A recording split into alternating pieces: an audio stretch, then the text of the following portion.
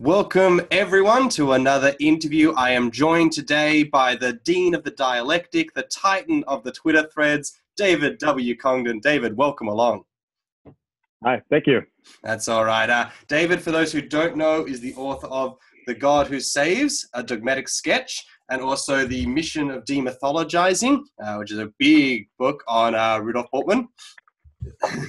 Here it comes. There, there it is. There, there it is that it is, but uh, that it is as big as I mentioned, and then also uh, yeah. yes, um, and another companion to Rudolf Bultmann as well. So uh, here, uh, for those of you who have heard it before or seen it before, I interviewed David.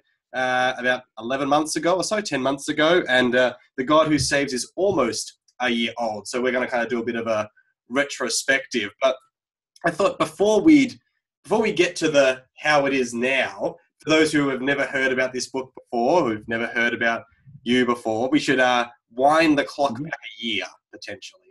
Uh, and uh, The God Who Saves has just come out. Uh, for those new to the game, talk to us about the book. Uh, where did it come from, and, and what are you trying to sketch out? Right. Yeah. Thanks. Um, well, the book originated about 10 years ago. I was attempting to uh, think through what I believed about salvation and universalism. Um, at the time, I was uh, a convinced universalist in the kind of more traditional Barthian sense. Um, uh, Christ redeems all. Everyone's gonna going to be re- reconciled to God. Um, and I was asked to write a book that would elaborate on this view systematically. So explain how this position affects your doctrine of God, affects your doctrine of humanity, your creation, all the rest. Um, I had to shelve it. I, went, I did both the, that big book you just saw, um, and my theology started to change a bit. Came back to the project after I finished my that big book, and um, I, this is the one I had been on my mind for a long time. And so uh, my the problem was for me, I had gotten uh, less, uh, I was less enamored by universalisms um, in the traditional sense. And um, I still believed in this universal reconciliation of some kind, but um, my theology, I had to get a different, I had to find a different path to that position. Um, so the God who saves, that is the version that is published, um, is an attempt to not only uh, sketch out an alternative version of universalism, which it is, but it's much more important than that. It's an attempt to rethink theology from the ground up in a way that makes sense for me of a number of, of realities. For instance, um, the need to take take into full consideration the kind of historical nature of our existence, and the fact that um, we, I, I wanted to get rid of talking about kind of abstract universals like all humanity or uh, God in the abstract. I wanted to really make theology concrete and connected to the actual experience of our life in this world. Um, so connecting God and salvation to our own actual experiences of, of abandonment and crisis and and um, uh, issues of our own identity and and uh, what it means to be a human person.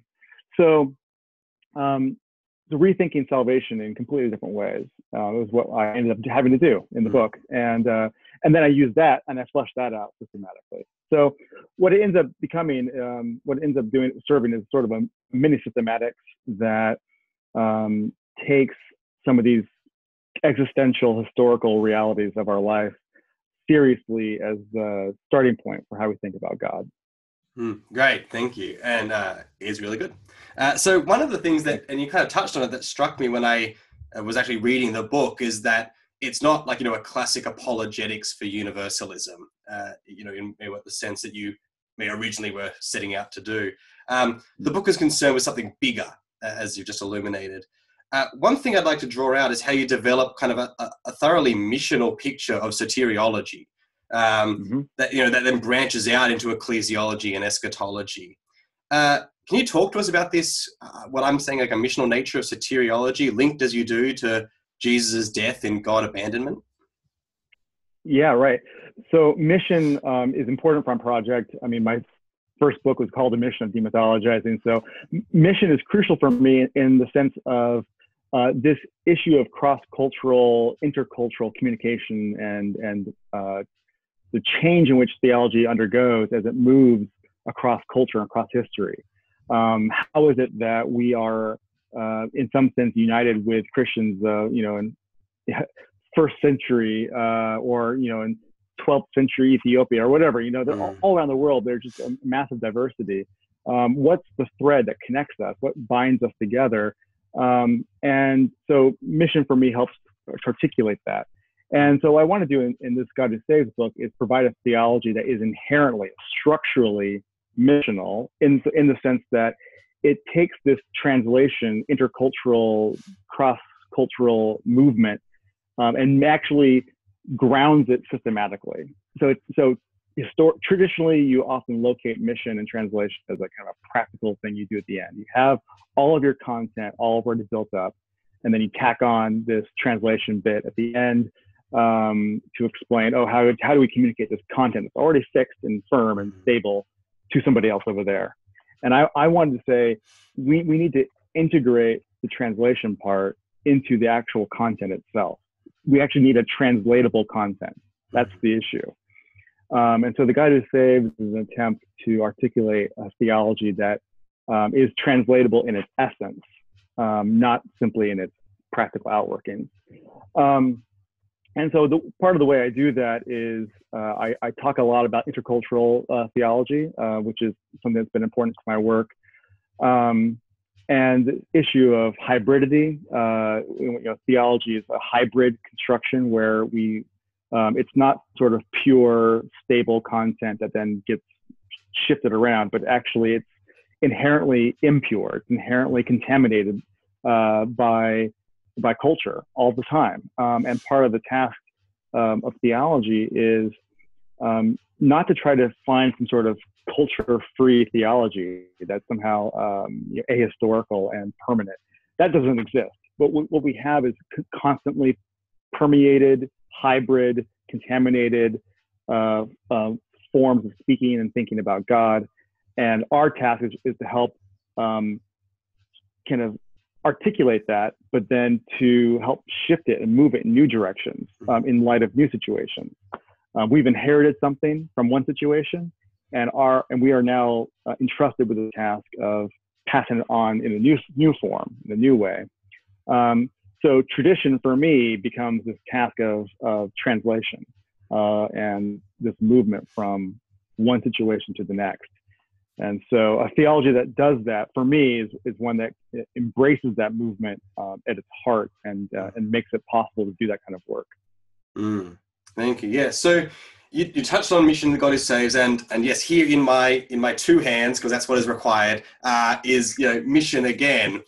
So you already kind of mentioned like why mission is so important to your work. I'm wondering, was there like autobiographically was there a mm. point where you realized the importance of, of mission? Because I know it's, it's in these books. It was also a big part of your editorial work uh, with the missiological engagement mm. series. Like, yeah, was there a point where yep. you were like, this is what needs to be addressed either in your educational or autobiographical kind of past? Yes, I mean there is. I mean autobiographically, I I am from a family of missionaries and pastors.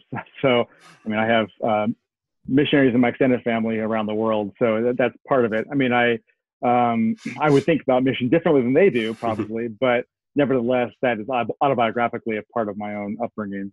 Um, for me, uh, a couple things are important. One, when I, I went to Wheaton College um, as an undergrad, and at Wheaton, I, um, I had a professor of anthropology, uh, Brian Howell, who uh, as, as a, I took this his course as a prerequisite. You know, I had to take it.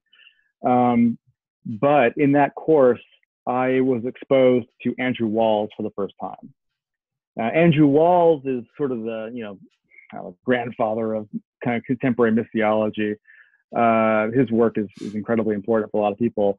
Um, but and in in his book that we read, the the missionary movement, Christian history, uh, he has this idea of translation that um, God is inherently a God who is in translation, uh, you know, mm. from eternity to time, you know, and, and across culture.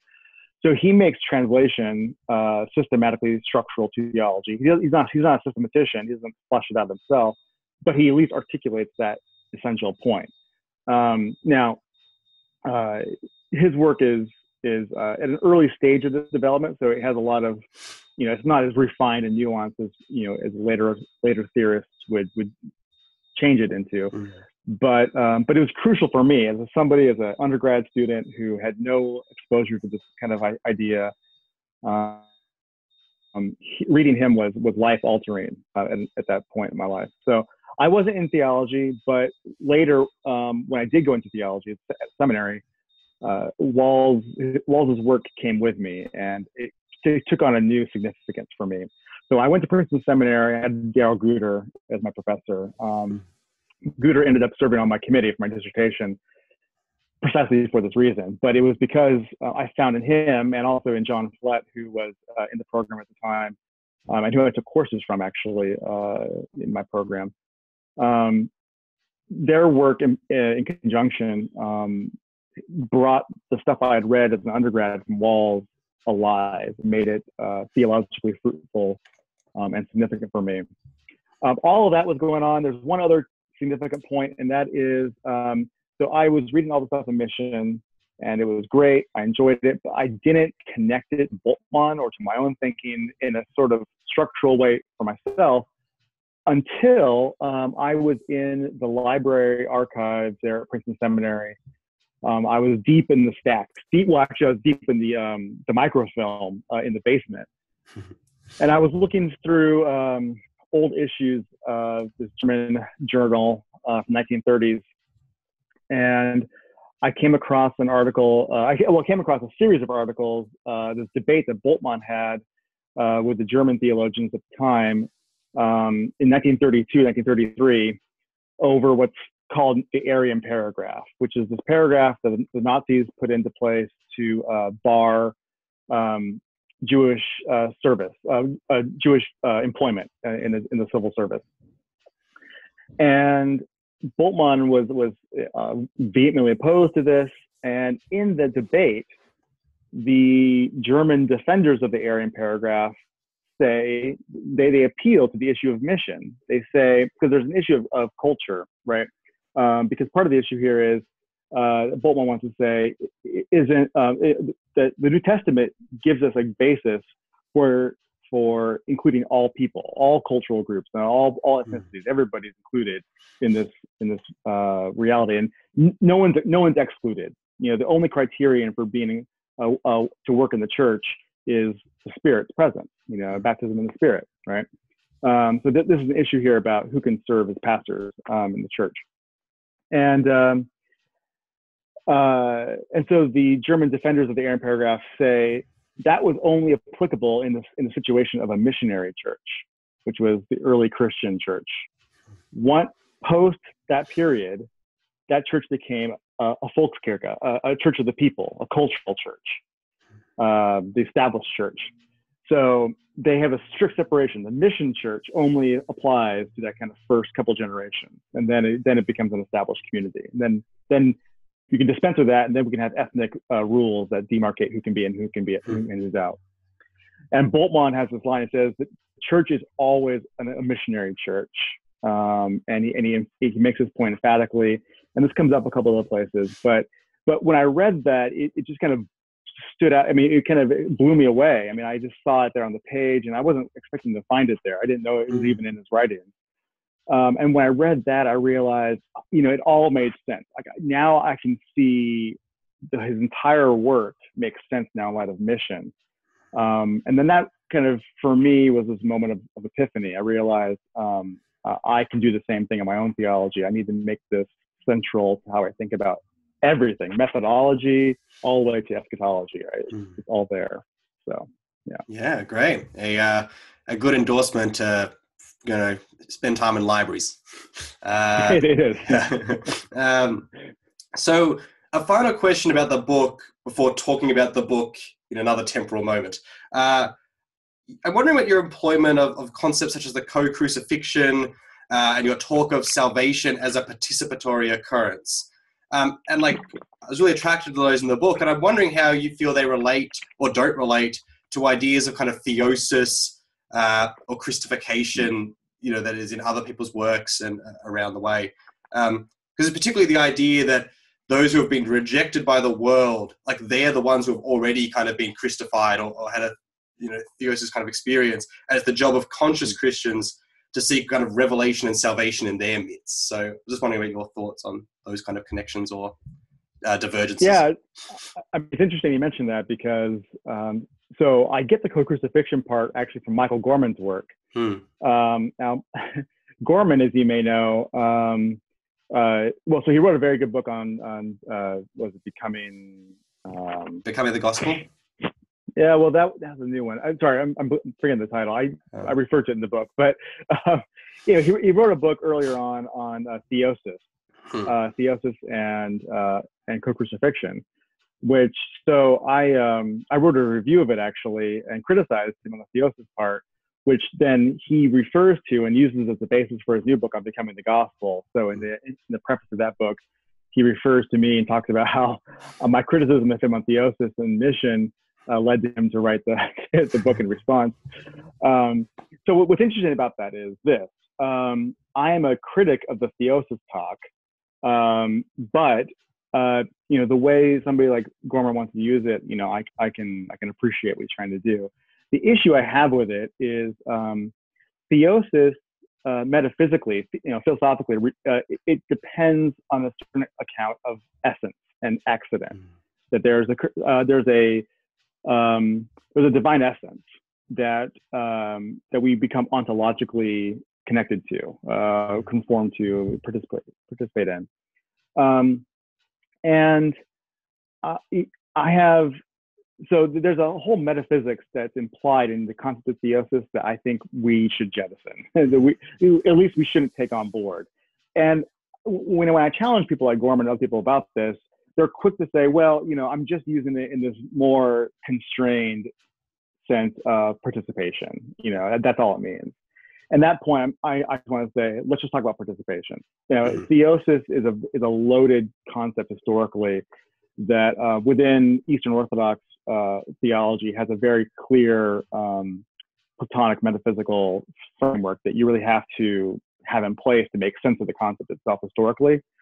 So, um, so I, if I get rid of the metaphysics, I think I have to get rid of theosis as a term. So it doesn't have any purchase for me in that sense but the idea, the idea of participation, I think, is very important. Um, my my way of doing this, though, is to say um, uh, to avoid kind of this ontological participation, to avoid that kind of talk about it. Um, although we can talk about maybe ways we can rethink about ontology, but um, but to say so, it's not about we we don't share in some attributes of God, or we don't share in some some essence that is uh, you know eternal that we kind of share into. There's no mystical, magical properties we we, we participate in. Um, participation is about conformity, conformity of action in my sense, uh, or in my case, conformity of existence actually. So I, I ex- existentialize the talk of mm. participation. Um, so I take it out of the realm of ontology and put it in the realm of existence and historicity and, and action.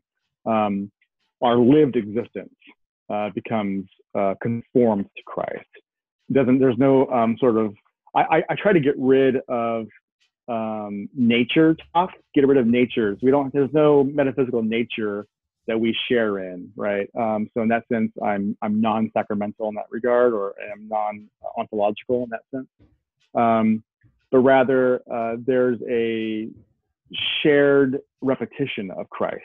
So we participate in Christ as we repeat Him in our lived existence.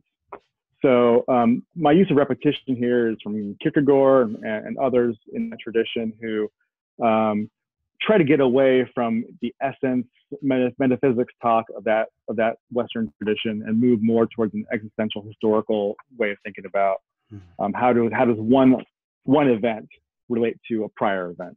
Mm. So in this sense, the normative event is Jesus and his death and, and God abandonment, and the the, rep- the repeated events are our particular moments of repetition where our lived existence repeats and therefore participates in um, the the death, the singular death of Jesus. Um, so part so part of what I do in my work is to try to try to expand the category of repetition. Think about repetition as a way of non-identical repetition. So it's it's there's a um, and there's been a lot of talk about this in the literature more recently, but um, there's versions of non-identical repetition that I don't like. The radical orthodoxy stuff is one version that I try to avoid. Um, but there's other accounts that I, I, would I could take on board. Um, anyway, all have to say is um, uh, I I do want to think about co-crucifixion as a as a participatory reality, but I want to get away from a lot of mm. ontological metaphysical baggage that comes along with that category and rethink it in terms of our historical existence and our concrete life. Yeah, I liked that a lot uh, going through it, and like I had read your book kind of at the kind of over the end to the beginning of last year, and then this year for my studies and my thesis, I've been reading a lot of James Cone, and like I kept finding a lot of parallels there with you know kind of almost like Cone's idea of, getting, of becoming black as the like seeking out yeah. Christ and finding that, which is a not an abstract thing; it's about an actual yeah on the ground canonic right. move to it's, the margins. Yeah. Yeah, solidarity, right? It's mm. it's uh, participation in terms of of emancipatory solidarity. Uh, you know, so yes, yeah, yeah. absolutely. I, I, I, there's a lot of that in the background of my thought when mm. I'm writing that stuff. That's yeah. cool. Uh, so, okay, moving to the present, uh, the God who still mm. saves. Uh, so it's one year old. Um, starting in general, how have you found the book's reception, and uh, what, if anything, has surprised you? Well, I mean, I can't really go too long here without talking about the obvious uh, surprise, and that is it cost me my job. Um, so, uh, I mean, it was, um, you know, so when you interviewed me last, um, that was, you know, so like a month later, you know, I, I was, I lost my job as a result of the book. Um, so, yeah, I would say this past year has been um, the most difficult in my life. Uh, I, I would, I, I could say that with some confidence. Um, and you know the the themes of the book are are all about you know sharing in the in the suffering of Christ, kind of this movement into the position of God abandonment, right? This mm-hmm. crisis, this existential crisis. Um, and I think the book has become much more relevant to me than I ever expected it to be. Um, I mean, it's it's become uh, more true. Um, the words have more meaning for me now than they did when I first wrote them. Um, and and so in that sense um, i've kind of i've learned from myself i guess. Mm. um, i think you know i uh, uh, it, it, just you know it's been a very tough road. Um, there's been a lot of, of, of encouragement along the way. I mean i've been very encouraged and, and frankly surprised by uh, the amount of outpouring of support i've received um, uh, about the book. I, you know, many people uh, wrote very kind things to me about it that I, I just, you know, was very grateful for and, and uh, meant a lot to me. Um, you know, I, I think for me, theology, uh, theology really needs to have, it needs to be pastoral and, and it needs to preach and it needs to be pastoral. Um, if it doesn't, if it doesn't do those things, it's, it's not really worth doing. Um, and, and I, I wrote the book for people like myself who were, um, well, I, I, guess we would say uh, post evangelical, maybe even post Christian uh, believers, uh, people who were who, people who have lost faith in the traditional uh, ideas and practices and structures of Christian Christian mm-hmm. faith, um, and and yet um, desperately held on to a, relationship of some kind, an encounter with the divine that um, that was life giving for them um, and meaningful. And what I wanted to do in this book was really to articulate what that means. What kind of life giving encounter with God is there? Um, and how do we understand that theologically in a way that doesn't just simply jettison the text and jettison tradition? For, for me, I, I sympathize deeply with those you know um, who who want to get rid of the religion and keep the spirituality and and um, and I think there's a lot of um, well-meaning truth there. Hmm. Um, what I wanted to do was actually show how you could arrive at those kinds of positions through the text, through the tradition. Um, you don't have to get rid of the Bible to uh, to arrive at a you could call it a postmodern faith, or to, to arrive at a uh, you know con- a, a, very deconstructive or um, you know radical form of Christian uh, Christian identity. Um, I I do believe very strongly you can get that from the text itself, and and that it's it's there waiting to be uh, to be received and interpreted.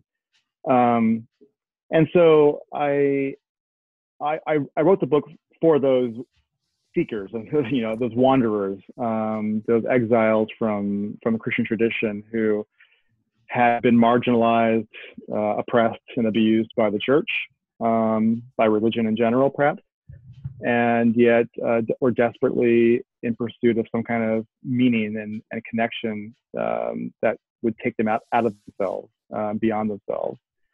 So, um, so you, you can, I use traditional exegesis and, and Christian tradition and theology in there, but um, you know, at the, at the end of the day, what I'm trying to articulate is an experience that is uh, beyond religion. It doesn't. It's um, it's beyond Christianity. It's a in that sense, the God who saves is in some sense uh, an attempt at a post-Christian theology.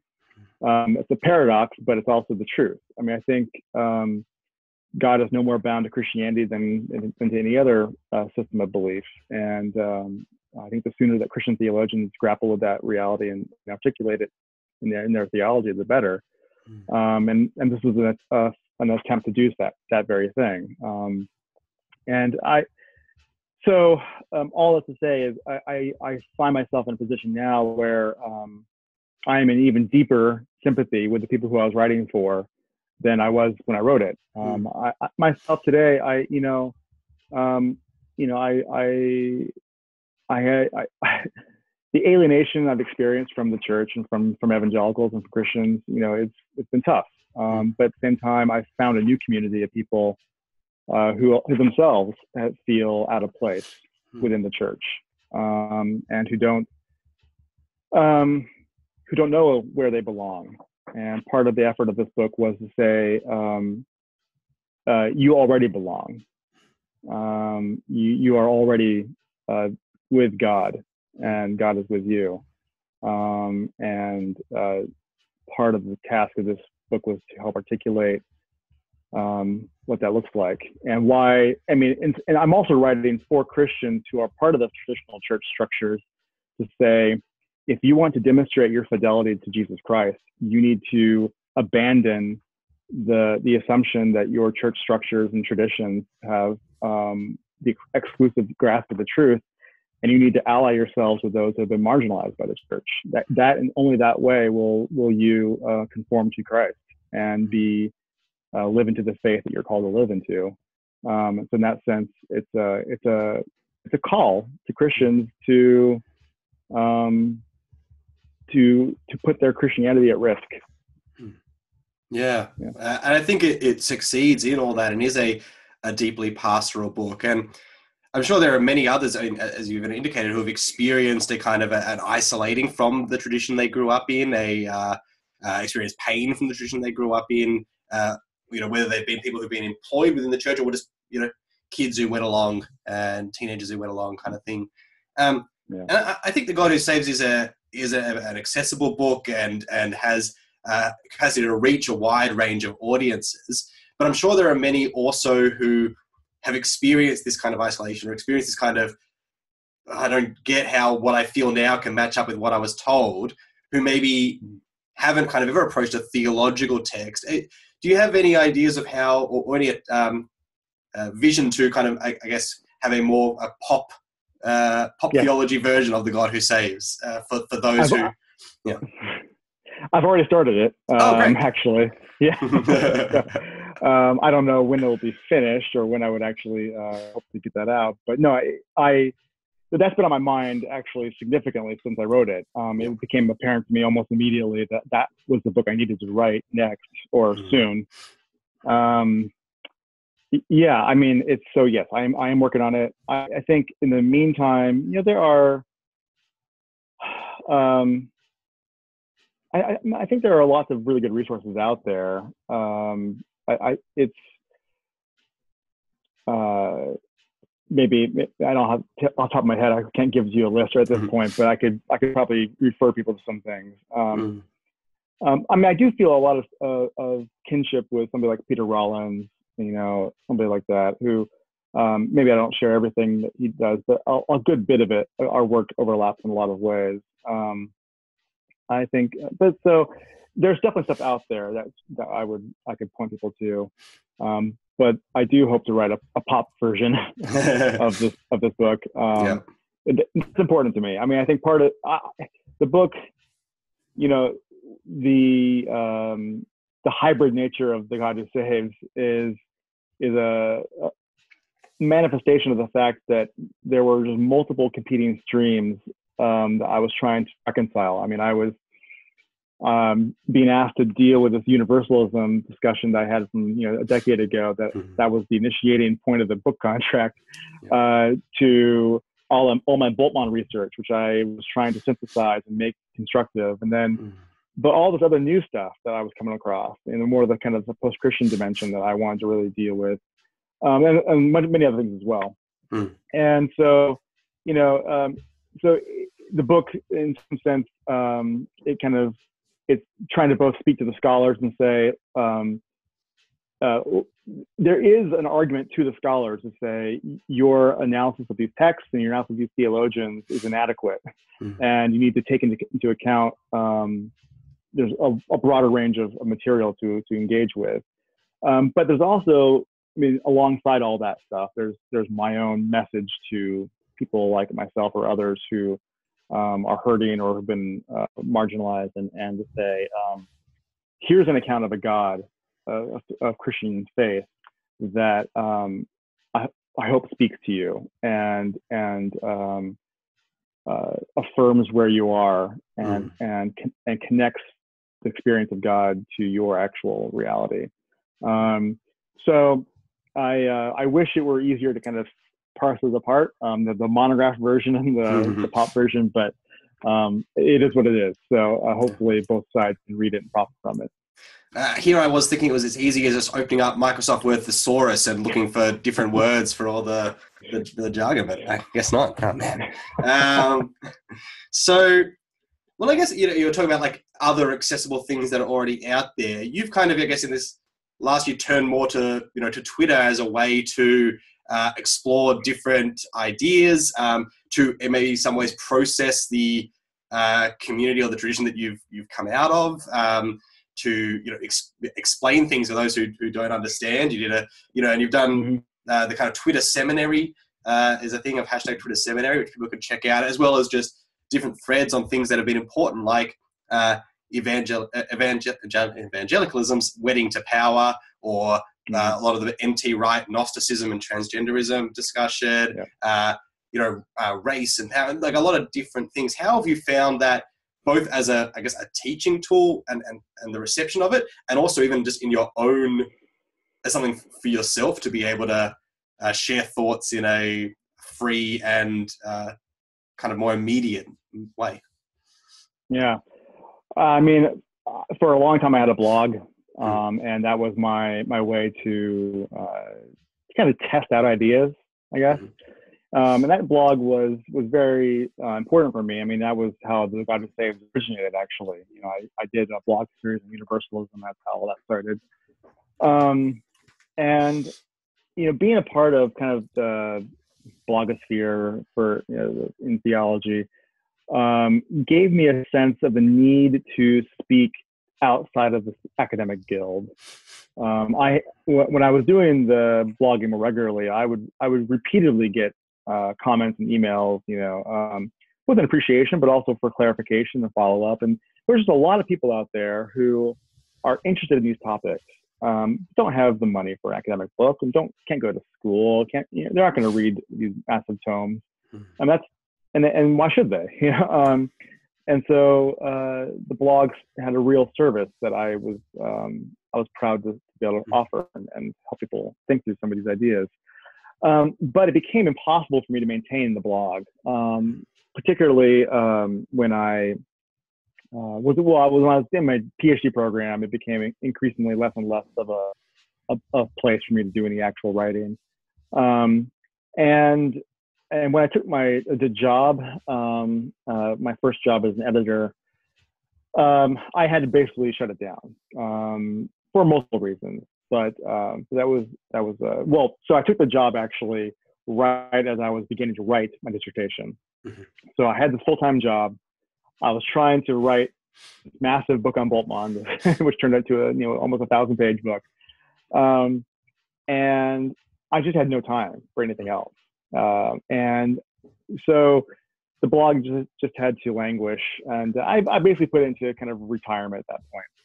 Well, in place of that, um, social media was developing alongside of this, and I joined Twitter, you know, fairly early on, but um, I I didn't really know what to use it for until I began to see academics get on there and really mobilize it for advocacy and mm. actual discussion, real discussion. When and so I remember the first time I saw like a thread, the first time I actually saw a real thread on Twitter. It was kind of a eye opener to me. I, wow, you know, this this this changes the game now for me. I don't have to just try to fit everything into a single tweet and that's call it a day. Um, now maybe I took it too far, but but um, you know what I like about Twitter is uh, so the thing with the blog is that it's close enough to an actual published essay or published article or you know whatever that you feel compelled to as an academic myself as a perfectionist academic myself you feel compelled to adhere to a certain stylistic guidelines and norms. You know you've got to you got to footnote that stuff, right? you got to put the put those yeah. notes in there. You've got to document properly. You've got to put the nice paragraphs, good form structure, all that stuff. That's even probably more so for an editor, right? You you know you got to right. practice what yeah, you're going to be telling everyone. Yeah. Definitely, so it became exhausting, right? You know, I I I was put I was putting so much labor into these blog posts. Well, Twitter comes along and just it says you, you don't doesn't matter anymore. You don't care. You know, just put it into 140 characters you can use whatever grammar you want or no grammar at all. Um, that's all. That's all fine. So all of a sudden, I was liberated from this perfectionistic impulse, which has always kind of hampered me. Um, and, and, I could just just give the ideas, just just mm. sheer content. I didn't have to. I didn't have to find ways to buffer it with nice transition sentences. You know, I didn't have to worry about paragraph structure. I just had to get the theses out there. And the thing about it is, like for me, um, I I came into theology um, reading people like Eberhard Jungel, and Jungel especially is the master of the thesis. So he loves these. He has whole whole essays that are just thesis statements. Hmm. Um, they're organized nicely, but they're just thesis statements. Um, this is a very German mode of, of academic writing. Um, and at seminary under Bruce McCormack, um, McCormack would very often uh, ask us to write thesis statement papers where we would also do the same thing. We'd write a thesis statement and a paragraph elaborating on it in a thesis statement, right? Mm-hmm. So I got very, very good at just writing entire essays of just theses. Mm-hmm. Um, lo and behold, this is excellent practice for tw- for tweeting because um, that's all it is, right? Mm-hmm. It's just a bunch of tweets, basically. Um, so, you know, I uh, w- going into the mode of Twitter uh, and these long Twitter threads I wanted to put together, these Twitter seminary mm-hmm. threads, um, they're just basically my thesis essays, these, these theses, uh, and then just individualized into a into a tweet. Uh, and maybe you know with some formatting and some emojis and maybe some whatever you know a, a GIF or two. Yeah. um, right, exactly, definitely. Um, and that and that was great. So it just felt very natural to me, and uh, it really relieved me a lot of the stress about mm-hmm. trying to create that kind of content. Um, I didn't have to worry about trying to defend every point in the academically pure peer review style, right? Um, I wrote like peer review quality blog posts. I did, I, and I, I was a lot of pressure. Now I could yeah. dispense with all that. Um, and so I loved it. You know, it was great, and I I still love it, although um, it's been harder now uh, having to move and everything else with this new job I've got um, to try to maintain the, the Twitter seminary. I did the Twitter seminary while I was unemployed. Yeah. so, um, that was a period of my life where I didn't have a job, yeah. um, and uh, it was a little easier to, to crank those out. Mm. Um, but now I do have a job, and I'm still trying to write these books I'm Nice. overdue for. So I- I, I, I do plan to get back to it, but Cool. I don't know if anyone's ever set up a Patreon page for Twitter threads yet, but uh, maybe you can find some way to, to get that happening. Like podcasts, they've they've you know monopolized the Patreon Yeah. thing. Maybe you can spread Right. its wings. I also think I need to send mean, I- this. yeah, go ahead. Well, I've been asked to do a Patreon. Um, you know, it came up one time. I, I just I know I don't have the time to produce enough content to warrant people to support me. Uh, Yeah. But I would love to. I mean, that, would- that would be great. I mean, I'd love to be able to just write and freelance um, Mm. my scholarship. I think uh, someday that would be an ideal situation, but uh, not quite there yet. Okay, yeah, that's great. I um, I also think I'll, I'll contact Princeton after this. 'cause I think we got a great pull quote for their uh, new courses. Like you know, sets you up perfectly for Twitter. You know, that's Princeton Theological Seminary. You know, come you here, you're ready Yeah. for ministry and Twitter. Whatever you know, whatever you need. That's great. Um, so we spoke, as I mentioned, we spoke last year, and obviously since then a lot of uh, personal change has occurred. But we also spoke, I think it was about like two weeks maybe before the, the presidential elections. Um, Mhm. and we were talking then about the disturbing nature of the, the um, of evangelical institutions or, or leaders um, and, and their behavior, you know, around that election and their endorsement of Trump and, and so forth. Now, it was, I don't know how, what we could have predicted, like in terms of the year after Trump's election. Like, I don't know if it's gone worse as expected. I, I don't know. Like, it was so hard to predict that I'm looking from the outside, so I'm not the right person to be Right. saying how it's gone. Um, but certainly, one of the Trumbling trends has continued is the uh, still the ongoing evangelical support uh, is the the fact that for quite a while after the president's refusal to condemn the Charlottesville rally, no one from the evangelical board uh, advisory board left. I mean, I know uh, in the end that happened, but uh, that took some time. Um, there was the you know uh, at the Southern Baptist Conference the uh, initial uh, refusal to condemn white supremacy, which then the next day got changed. So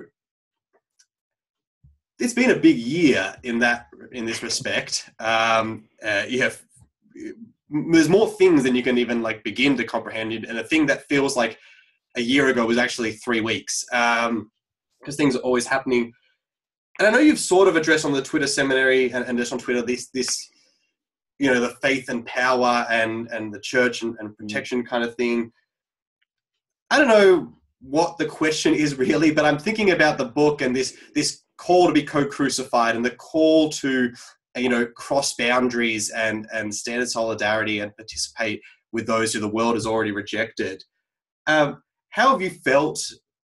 You know, yeah, looking at this year as it's gone, and and you know, having such an experience of, with the Christian tradition in America, and and having this book, which is you know a consistent call to be crucified rather than be glorified. Uh, yeah, what, what have been your thoughts as you've watched this? If you've been able to develop any kind of systemized thought on it at all? Uh, well, it's painful. I mean, it's a daily. Uh, I mean, I don't. I, I, I it's hard to, to kind of synthesize all my thoughts I have on this because it's so visceral, right? Um, I mean, as somebody who grew up, you know, deeply embedded within evangelicalism, um, uh, it's uh, yeah.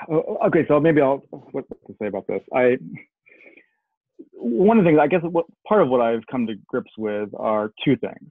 Um, one is that um, there there is a positive tradition within evangelicalism, um, and that that's been uh, it's been very real for me because I'm descended from that positive tradition. I mean, so Jonathan Blanchard is my ancestor. He's the founder of Wheaton, and I I'm a you know, sixth generation from him. And Blanchard, you know, if you Blanchard was a was a radical abolitionist at the time, you know, and um, I mean, if anybody would have been out there, you know, with you know the anti-fascists and the you know the new abolitionist you know groups and Black Lives Matter. I mean, Blanchard would have been in the front of all that. I mean, he would have been in the you know, he would have been getting arrested repeatedly. He would have been fighting, and he was just a, he he just thrived on shaking up the social order. Um, that's what he did, and um, there is this deep legacy within evangelicalism to do that. And I think so. Part of what I, even though I I no longer identify with as an evangelical, I I there what I love about evangelicalism historically is evangelicalism is historically a renewal movement. It is a movement that um, is recognizes that the, the, the, the Christian order has become part of the powers and principalities. And that's and historically what, what it's done is to shake that up um, and to move it in a more progressive, liberating dimension. So this happened with the Pietists over against the Lutheran Orthodoxy um, over in Europe. It migrated over with the Awakenings, and, and it was a evangelicalism was the, the, the, the challenge to the power structures of the kind of mainline denominations of the early colonial era um, and uh, into the 19th century. And so, you know, the evangelicals were were were the ones who would challenge orthodoxy. They would challenge uh, in unjust social structures, all that stuff.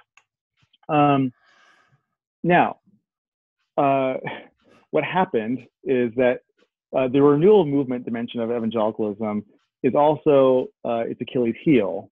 Um, it has a tendency to uh, to fracture very quickly um, and to mobilize around uh, particular um, cultural identifying markers. It doesn't really have uh, a tradition. It doesn't have uh, a creed. It doesn't have anything to stabilize itself all it has is this renewal movement thing going on. Mm. Now, part of that I, I, want to reclaim, and, and, and I'll get back to that in a second. But um, there's this gap, there's a vacuum in the middle of evangelicalism. It doesn't have a thing, it doesn't have a substance to it. It's just this challenging of the prevailing order. Um, so it's kind of it's anarchic in a certain regard um, regarding the church, um, and that's a great thing when it's leveraged, you know, towards you know addressing issues of injustice. It's a very bad thing, though, uh, when it comes to trying to um, establish itself because it doesn't actually have anything to provide any sort of positive norm. All it has, what it fills that void with, are authoritarian leaders who come in and provide the, the, the structure and grounding that it doesn't doesn't have for itself, um, or it fills it with other things like um, uh, just just social organization. So, for example, um, so there it, there is no creed for evangelicalism, right? You, you, they basically, if there is one, it's just we believe in the Trinity, we believe in the Bible. You know, it's, it's, it's almost as simple as that. All even evangelicals in the 19th century also didn't believe in the Trinity necessarily. A lot of Unitarians came out of the evangelical movement. So, um, so it's really just a biblicist movement, right? It's just the Bible. Um, but the Bible, of course, is, as we all know, inherently uh, polyvalent and capable of being interpreted in infinite number of ways, it seems. Um, so you can use the Bible as a weapon regard in almost any way you want to. You can use it for to challenge the powers of principalities, or you can use it to support them. Um, and it was a very easy move for evangelicals to move from one to the other. Uh, all it took was a certain sort of satisfaction with the cultural situation. Um, and it required some leaders to come along and say, we're okay with the social situation. And you should, and to be evangelical means to follow me um, and to, settle down and become part of our social order. Um, and this happened uh, post World War II um, with the establishment of Fuller and Christianity Today, um, a bunch of other evangelical institutions, the National Association of Evangelicals, you know, all these things formed at the same time. And um, evangelicalism, as we know it today, um, was born from this. Basically, it's like the move from the hippies to the boomers, right? You know, they, you know, they they just settled down mm. and became part of you know the establishment. Um, and so, because there was nothing there to provide some sort of normative direction and grounding for the move for evangelicalism, it was it very quickly became co-opted by the state and co-opted by the the, the structures of power um, and the economy, capitalism, uh, and the rest. Um, mm-hmm. it became identifiable with with nationalism essentially, uh, with American exceptionalism. Um, so all of the the original sin of racism in this country, um, the, the, in, the emphasis on free enterprise, and the emphasis, uh, you know, all the rest on of individual liberty and individualism in general that that kind of makes up American democracy, uh, if it is a democracy. Um, that all those features, um, this kind of libertarian uh, ethos of mm-hmm. American identity, um, just that became the creed for evangelicalism because it didn't have one in itself. It didn't have any sort of basis. So it just took on that that ethos of American life, um, and that's and that's that's unfortunately what, what, what we're at today. Uh, I mean, I think basically evangelicalism is inherently co-optable um, by whatever authoritarian leadership comes into place that says um, your faith and identity is at stake, uh, it is at risk unless you follow me, unless you do these things and, and conform in this way. Um, and because they don't have anything, there, there's no Catholic social ethic tradition, for example, to challenge that, mm-hmm. right? It's mm-hmm. just they're at the whims of whatever leadership uh, structure is in place. Mm-hmm. Um, and and so we are where we are, and I it's it's very sad. Um, part of what I see my my kind of identity and vocation to be is to recover the prophetic evangelical tradition um, of the early 19th century of my own family, um, I should say, um, uh, and to, and recover that over against evangelicalism. Yeah. I mean, I mean, I think the only way to be an authentic evangelical today is to reject evangelicalism. Hmm. I, I, mean, I firmly believe that, um, and so um, unfortunately, that that's. I mean, I think there's a situation. It's not. It's not dissimilar from uh, situations in the past in ancient Christian history where you know to be a Christian meant some way to challenge Christians.